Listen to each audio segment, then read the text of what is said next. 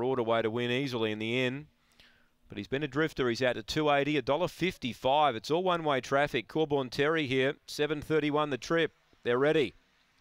Set to go. And away. Corborn Terry stepped away fair. He'll muster through. Zipping Gallons up to second. So again, he's nice and close tonight. Three lengths away to Dinah Alice, then Carana Blue, and Sir Truculent is last of all. So into the straight, Corborn Terry by five. Zipping Gallon does the pursuing as they go past the judge. Dinah Alice third, then Sir Truculent with a long way uh, of ground to make up here, and Carana Blue last. Still, it is down the back. Corborn Terry four, lengths clear, but Zipping Gallon now getting interested, and he's starting to come quickly. He looks a big danger. They're well clear of Dinah Alice and Sir Truculent. Zipping Gallon moves up alongside of Corborn Terry, races to the lead, and away goes Zipping Gallon to give Rawlings a double. Wins by six to Corborn Terry, Dinah Alice, Sir Truculent, and last in was Carana Blue.